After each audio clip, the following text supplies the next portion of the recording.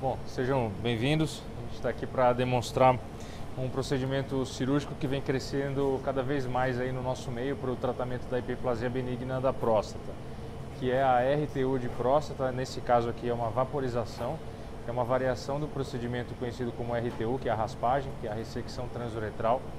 Em particular, nesse caso, nós vamos usar uma fonte de energia, é, como falei, que vem crescendo cada vez mais aqui no, no Brasil, que é o Green Laser. Uh, é um equipamento uh, que faz essa vaporização da próstata pela, pela uretra, é indicada em situações especiais, não é um procedimento que nós usamos ainda de forma corriqueira na maioria dos centros. Uh, o racional do procedimento é vaporizar o tecido que obstrui aumentado, que é a hiperplasia benigna da próstata, e fazer uma desobstrução do canal.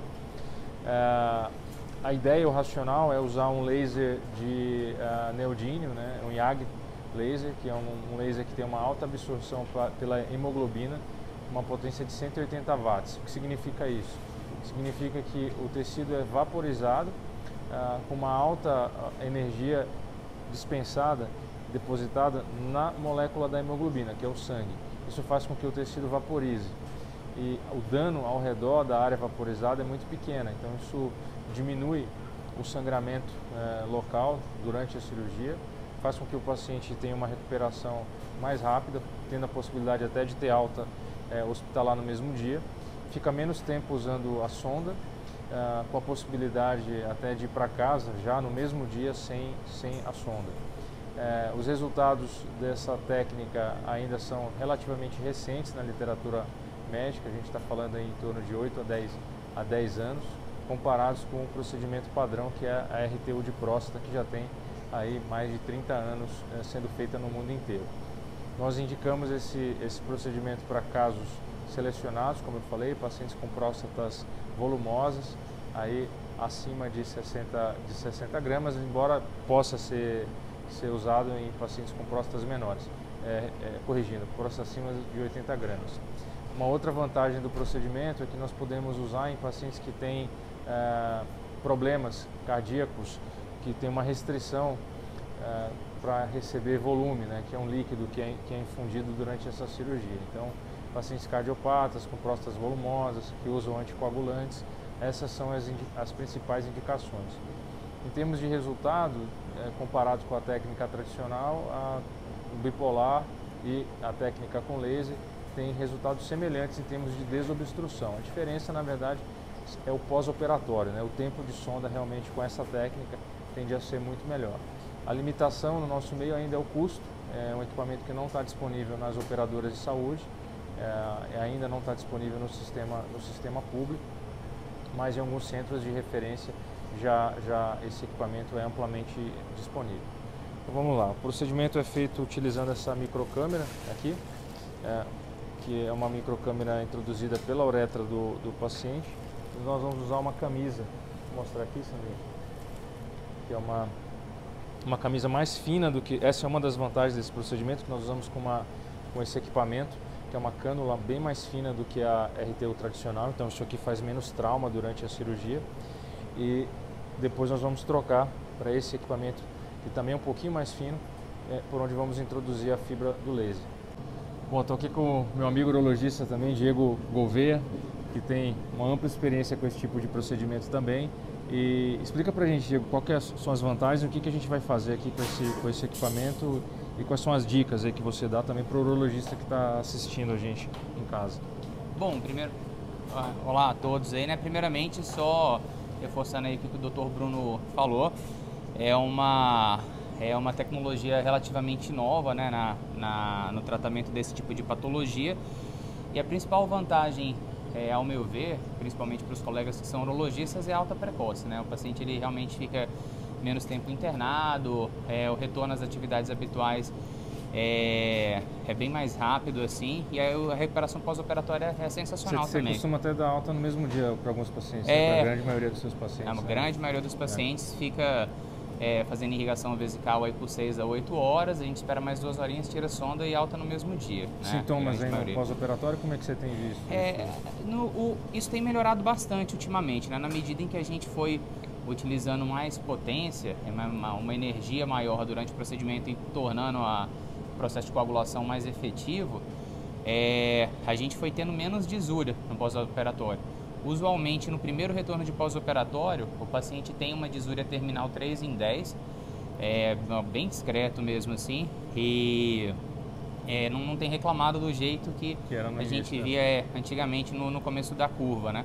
Então, atualmente, os, é, é, os pacientes estão voltando é, com pouca hematura, muito pouco, praticamente não se queixam, e uma disúria que usualmente é uma disúria terminal 3 em 10, 2 em 10, é bem, bem tranquilo. Vamos lá. Bom, então o procedimento começa. Tá gravando? Bom, o procedimento começa fazendo a inspeção aqui da uretra do, do paciente, Isso, né, chamado é uretroscopia. Tá? É. Então aqui nós estamos dentro da uretra do paciente. Você tem que ir pela, ir pela frente ah, do, do cirurgião.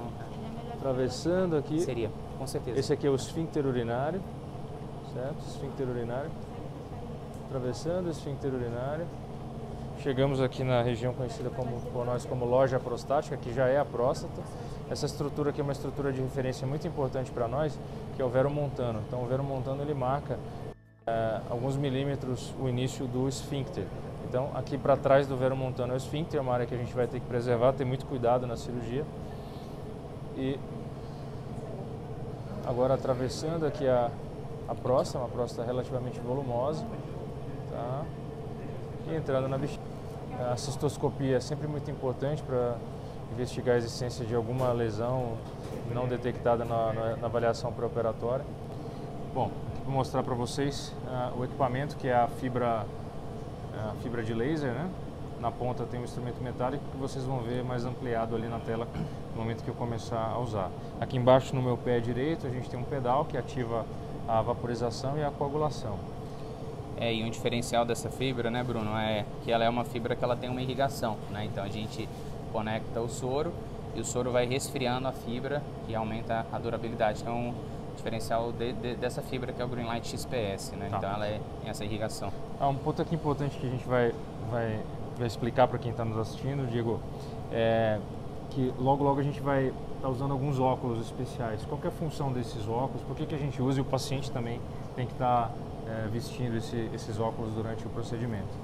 É, é um, laser, é um laser de, de alta potência, né? Então, se houver, eu particularmente nunca presenciei isso, espero nunca presenciar, mas se houver ruptura da, da fibra, né, esse laser ele pode causar diversas lesões, principalmente lesões oculares, né?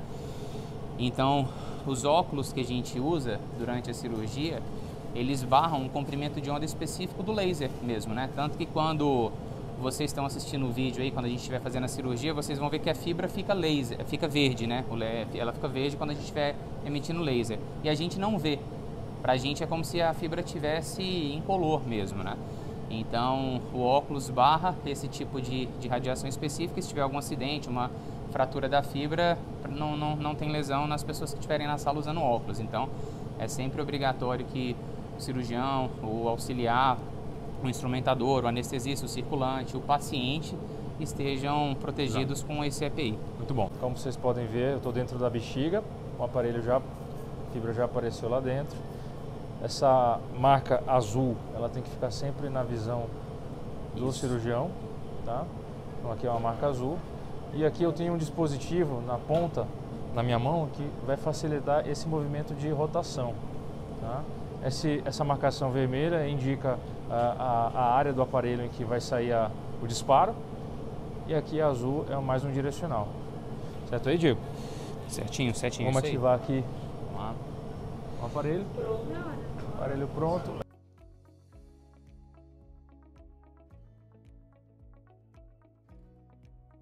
Bom pessoal, então aqui eu vou mostrar para vocês o cuidado que a gente tem que ter com os meatos. Os meatos são os orifícios ah, do ureter, né, tá aqui, a gente consegue ver aqui a, uhum. a direita na, na, tela, o meato esquerdo. Tá?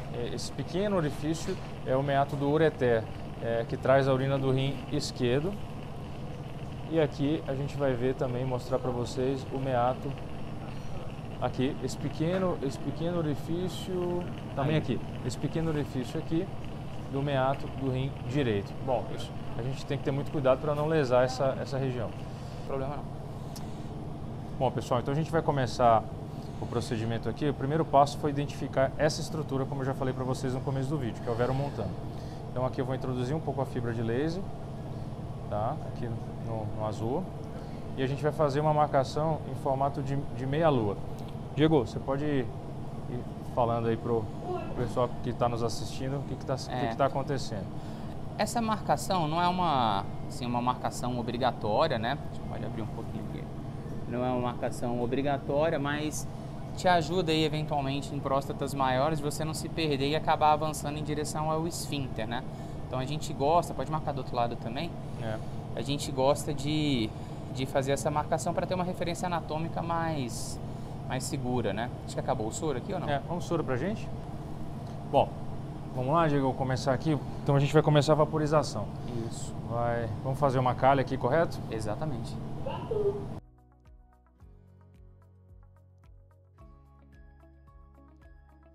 Percebam que o, equipamento ele vai vaporizando o tecido da próstata e vai formando essas pequenas bolhas aqui, né? Sem a, sem a necessidade de encostar no tecido propriamente dito. A gente vai fazer esses, fazendo esses movimentos aqui é, semilunares, vaporizando o tecido. Bom, então aqui chegamos ao, ao final do, do procedimento.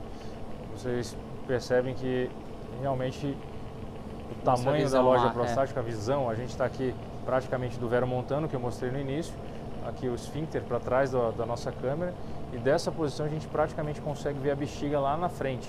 Né? Então aqui entrando, ó, o resultado final aqui, uma ampla cavidade prostática com uma grande remoção de tecido prostático.